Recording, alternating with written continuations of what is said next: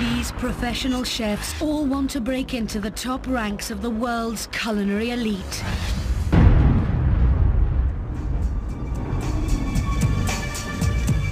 Steve and Daniel now have to take everything they've learned back to MasterChef HQ. They have just one more chance to fight for a place in the final. Last 60 seconds. Time's up. It's as pretty as a picture. Thank you. And uh, it's most definitely uh, the style that we're looking for. It's smashing. Thank you. Well done. Thank you very much.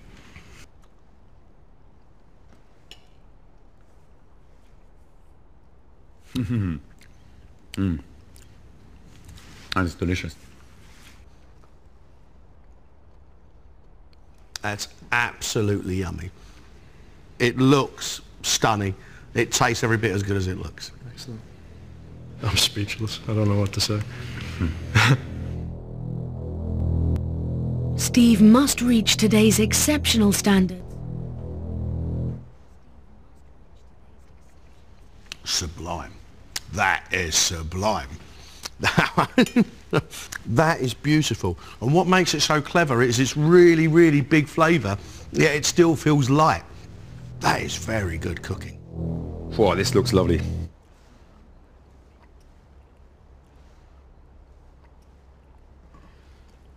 Ooh, Steve, that is very good. Very, very good. This is cooking of the highest order.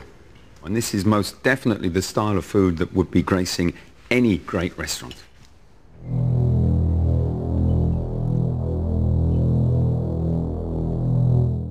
Hats off to both of them because the food they've cooked for us today has been exceptional. Flavors, textures, presentation, everything that we had asked for, they gave us. That is the food of Michelin-starred kitchens. You are both going through. How the hell does that work?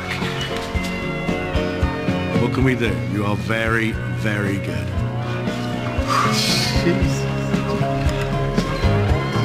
Congratulations. I'm absolutely shocked, to be honest. I was not expecting that in the slightest. Can't believe it. Can't. I can't have enough words for it. I can't believe it. It's fantastic.